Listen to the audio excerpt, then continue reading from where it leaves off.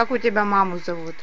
Оля, А папу? батя. Сережа. Не, батя. Батя, да? А деду как? Миша, А бабу? Витя,